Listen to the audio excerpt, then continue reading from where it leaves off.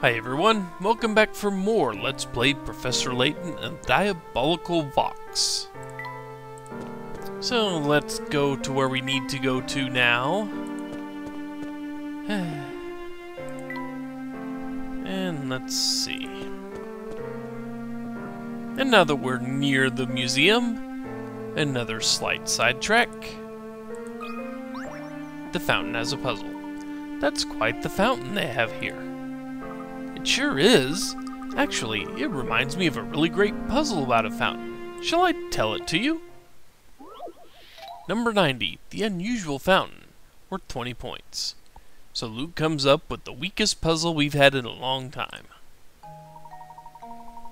The fountain shown below has the unusual ability to indicate the age of those who draw near it.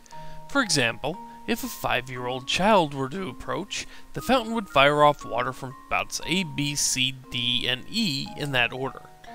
For age 15, the middle spout would fire, and then be followed by spouts A through E. For someone aged 30, the middle spout would fire off three times. Given the fountain's method of indicating age, there's one utterly useless spout in the fountain. Find and circle the spout. Oh, if you figure out what the middle fountain is signifying here, it's signifying the tens. So, you know, for the 5, we'd have 1, 2, 3, 4, 5. For the 15 year old, we had 10, 11, 12, 13, 14, 15, and for the 30 year old, 10, 20, 30.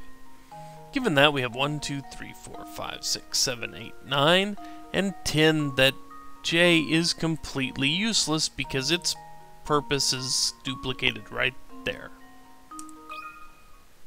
This should do the trick. Ha! Wonderful.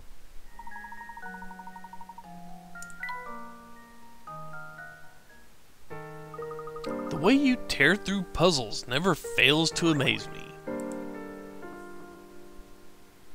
And we're done with that. And we need to talk to you. The name's Gregorio, and I love chess like mice love fancy cheese. Yeah, we, we met you already. If you can solve this little chess puzzle I've set up, I'll tell you what I know about Folsense. Again? That sounds fair. Show me what you got. Number 107, The Knight's Tour 2, worth 50 points. Lead the knight on the trip around the board below. Chess knights move two squares forward and one square perpendicular on each turn. The initial direction can be up, down, left, or right. Move this knight around the entire board, landing on each square only once. Well, let's see if I can do this, shall we? I believe we go here. We have to go here. Get in here. Over here. There. And now we need to kind of do this. And back this way. And up. And over here. There. Down. Over here. Maybe you can see kind of the pattern we need to go for to do this.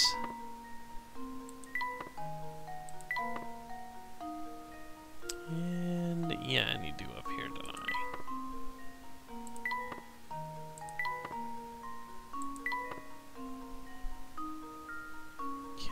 which one's yeah, so this one over here.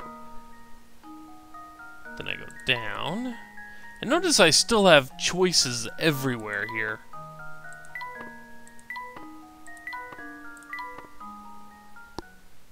Consider this puzzle solved. That one's annoying just because you can make so many different ah, ways to get to this, you know. You have so many different choices you have to turn. Once you figure it out, you have to keep going. And if you don't figure it out in the first one, you've still got like five or six ways you can go anywhere. Sharp thinking, sonny boy. Real sharp. Now, what was I going to say? Oh yeah, the Herzens. Way back when, Herzen Castle used to be quite the hot spot. The rich folks would throw balls there. Now, though, no one will go near the place. The castle's supposedly got a vampire living in it. But I wouldn't give for things to go back to the way they were. And a new diary key. New diary key means we get to read diary. Which is almost completely unlocked here. We're two thirds of the way done. Oh, this wretched life of mine! The girl I loved and to whom I was betrothed has abandoned me and fled Folsense. Did all that awful talk of curses scare her off, or did she truly leave me to be with someone else she loves? Either way, her betrayal cuts me to the core. I trusted her, and now I'm lost. Where do I go from here? What's left for me? And that's kinda sad. Just a little, you know? I mean, just, just a tiny bit sad there. But we're not done with even him yet. The name's Gregorio, and I love chess like babies love smooshing food onto their faces. We can conversate if you want, but first you'll have to solve this chess puzzle of mine. Fair enough, let's get to it. Number 108, the knight's Tour 3, worth 70 points. Lead the knight on a trip around the board below. As same as we just did. So,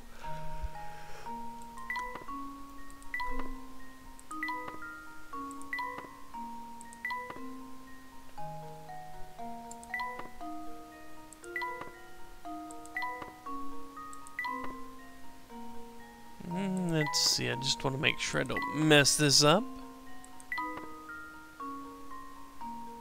Okay, yeah, I need to corner, don't?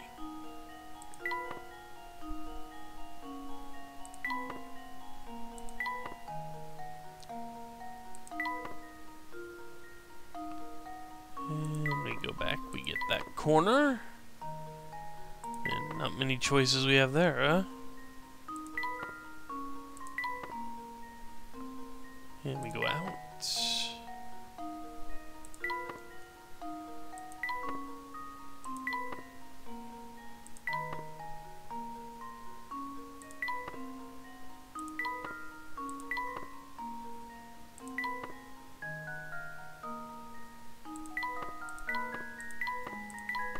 There we go. This should do the trick. True gentleman leaves no puzzle unsolved. Not much to say there, is there? That's quite the thinking gap you got there. I'm so impressed, I'm gonna let you on in the secret that no one else in town would spill in a hundred years. A few years back, an awful thing happened here in town. People in Folsense just started dropping left and right, like they were under some terrible spell. Did anyone discover the source of this strange malady? I wish I could say yes, but it's still a mystery to us. What I do recall is that many fled the town once word of the illness got around, but that's as much as I care to speak on this topic. You've solved all my puzzles, and I'm tired. You may be tired, but I think a good cup of tea would rejuvenate you. One second. So let's give you that tea, shall we? oh my, so very thirsty. Are you alright, sir? To be honest, I've been better, sonny boy. The name's Gregorio, and I love chess like pigs live love mud. I've been standing all here all day pondering my next move, and, well, it's pretty brutal work. Would a cup of tea help that thirst of yours? That'd be mighty kind of you, sonny boy. I'll see what I can make. Once you're refreshed, thinking up your next move should be much easier. Something sweet and smoky that'll take care of the dry throat. Well, I mean, yeah, you could just uh, sugar smoke there, but that wouldn't help because he needs thirst quenching. The quencher. Smoke and sweet, but quenches thirst.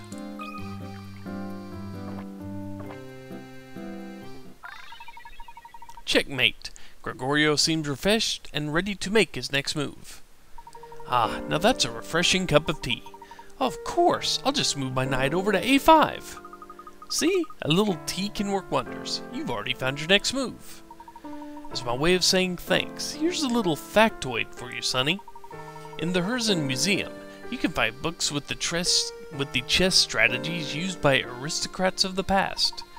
The peculiar thing is that no new strategies have been developed in the last 50 years. It's almost like time has stopped. Hmm, that is kind of odd, isn't it? Well, let's go in here. It's been a while since we've seen a fully new screen, so of course, you know what that means. One, and one here. And, okay, which one of you is it? There it is. And now we need to talk to you, now that we've found all the hidden coins here.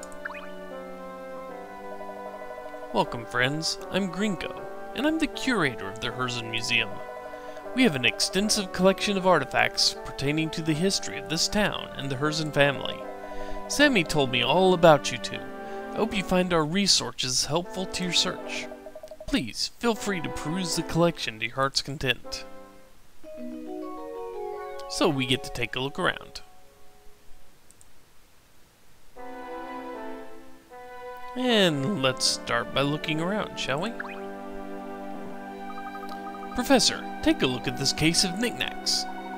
These appear to be common household items owned by the Herzen family.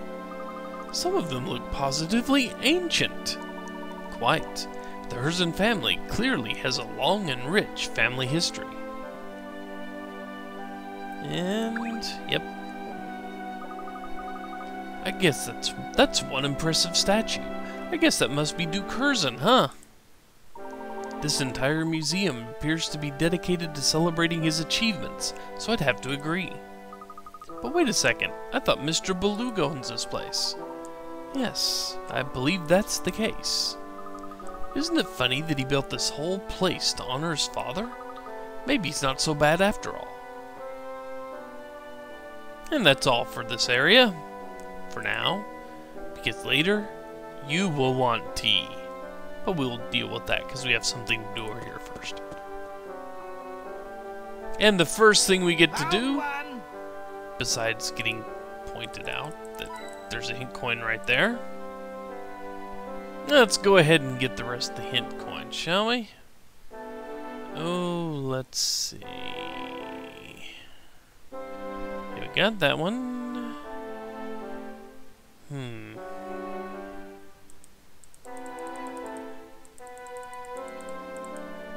Oh, where is it? Hmm. There's that.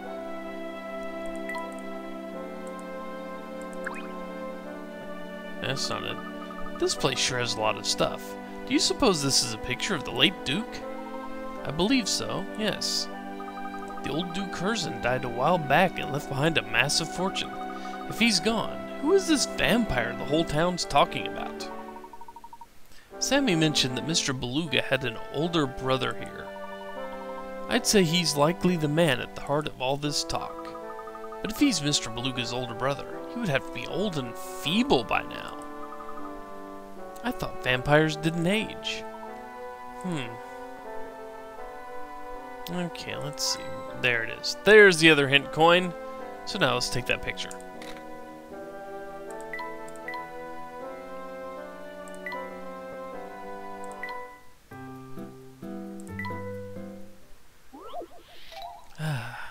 Picture number four, the second floor of the museum.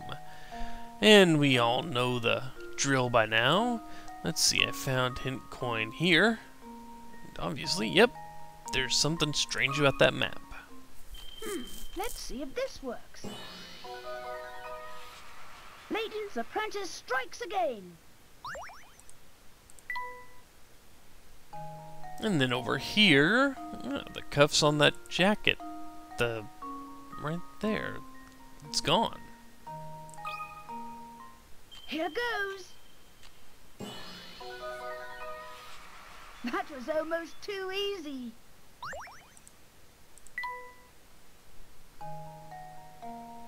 And then... Hmm. Ah, right here. It's missing a picture. And now to test my theory. Ha! Wonderful.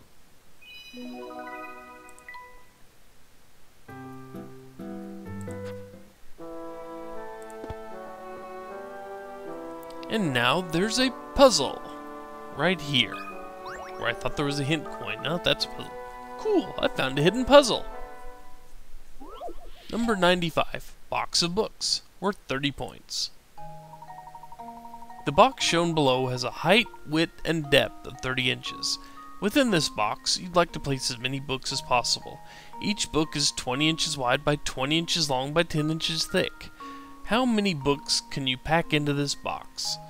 Books can only placed in, be placed into the box in the closed position, but you can position each book however you like. Sorry, folks. Did not mean to do that.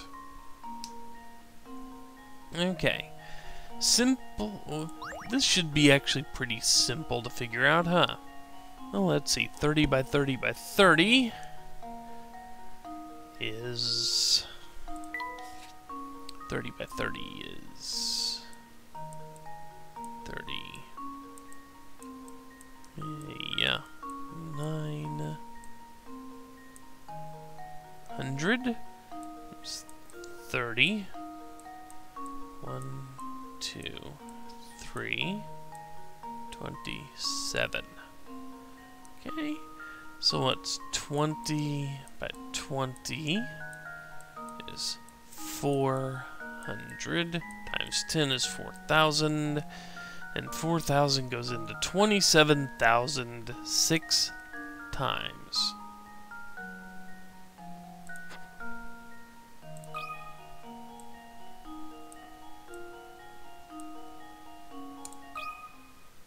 Consider this puzzle solved. Easy enough. gentleman leaves no puzzle unsolved.